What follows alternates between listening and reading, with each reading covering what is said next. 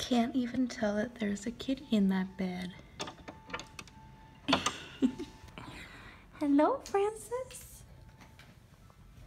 Hello, handsomes.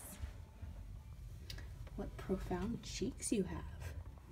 They are beautiful. Beautiful, beautiful. Alexa, you're at Kitty Charm School with Francis. So, Francis is doing pretty well. He got his third day weigh in today, and his weight is good. He's up four ounces, so we'll keep an eye on it, make sure he doesn't gain too much, but we always love to see gaining instead of losing. Oh, you're a goofy boy, huh? You goofy boy with your bed.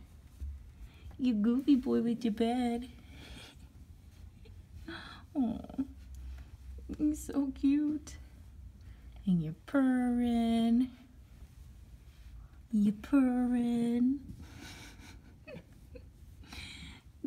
we haven't seen a kitty with this bed um, that uses it like he does. So, it's very cute. They love the headbutts. So yeah, Francis doing well. The only thing we are waiting for is a poop. So hopefully by tomorrow he will have some poop in his box. Otherwise, things are going great for Francis. You good boy. What a good boy. Kitty mail.